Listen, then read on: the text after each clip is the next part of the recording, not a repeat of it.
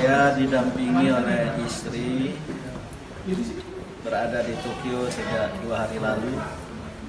Untuk tadi pada tanggal 6 November 2018 pukul 3 waktu Tokyo pukul 3 sore menerima suatu kehormatan dari pemerintah Jepang yang diberi nama anugerah The Rising Sun Gold and Silver Order.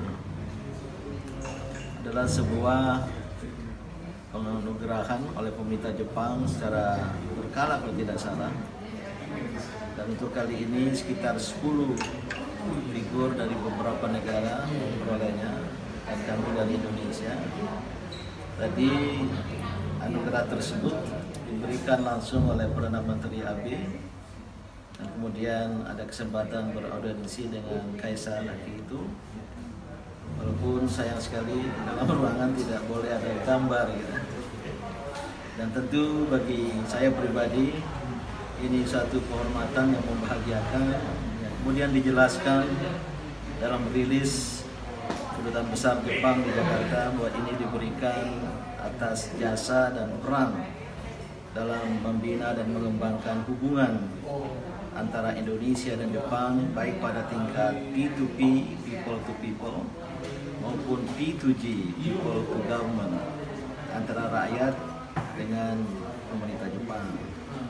Memang selama 10 tahun lebih kami menjalin hubungan dengan Jepang baik pertama sebagai Presiden of Asian Conference of Religions for Peace, Konferensi Asia Agama untuk Perdamaian yang kebetulan kantornya berada di Jepang sini. Kemudian begitu pula dengan lembaga ya yang diberi nama ACT Association for Communication of Cultural Study sebuah lembaga yang didukung oleh perusahaan-perusahaan besar Jepang dan kemudian punya linkage dengan partai yang sedang berkuasa sekarang yaitu LDP dan lewat lembaga ini kami lewat Muhammadiyah waktu itu tahun 2007 dan 2008 mengadakan Indonesia Japan Summit for Development oleh Jepang di Jakarta untuk berbaktian menurut adat suku Samawa ya. Dan istri karena orang orang Minang ya, pakai pakaian ala Minang khususnya foto gadang ya. Jadi kami tadi ya hadir ya katakanlah ya semacam semacam Raja Sumbawa dan permasyuri dari Gunung kan Terima kasih Pak Fakhri Hamzah dan kawan-kawan semua yang nggak bisa saya sebut namanya dan KBRI yang ikut memfasilitasi ya, kedatangan kami dan malam ini harus meneruskan perjalanan ke Singapura. Satu Pak. Terima kasih saya mau menyampaikan atas nama teman-teman yang dari kemarin mendengar kabar bahwa Profesor Samsudin akan menerima anugerah dari Kaisar.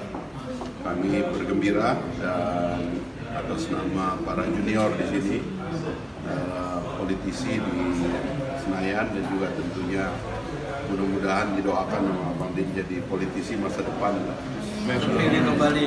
terpilih kembali yang nyalek ya yang tidak nyalek dapat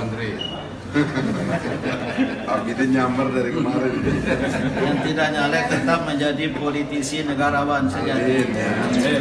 Kami tentu bahagia, gembira karena ini menjadi inspirasi buat kita semua. Mudah-mudahan Bang Din dan istri dan ibu mudah-mudahan diberikan kekuatan lahir batin dan kesehatan supaya terus menjadi juru bicara bangsa Indonesia dan juga bangsa yang eh, penduduknya beragama Islam dan beliau sering mewakili eh, umat Islam dan Muhammadiyah khususnya eh, dan para pemimpin Indonesia di forum-forum internasional. Inilah wajah yang dirindukan oleh umat manusia sekarang ini yang sedang hidup dalam konflik dan ketegangan ya. Mudah-mudahan kehadiran beliau ini akan kita teruskan dan menjadi eh, modal bagi bangsa ini untuk maju ke depan.